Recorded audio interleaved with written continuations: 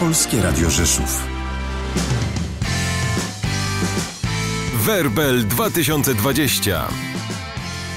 O mały włos ta zapowiedź byłaby dzisiaj zupełnie inna, ale teraz już z całą pewnością i z wielką radością zapraszam Państwa bardzo serdecznie do Filharmonii Podkarpackiej na finał plebiscytu Werbel 2020. Aga Walczak, Żmije, Kufel, a także Gwiazda Wieczoru, zespół Raz, Dwa, Trzy. Na żywo z Państwem, z widzami Filharmonii, a także na żywo w Radiu Rzeszów, na żywo w telewizji Rzeszów, a także w internecie, czyli na całym świecie. Werbel 2020. Zapraszamy.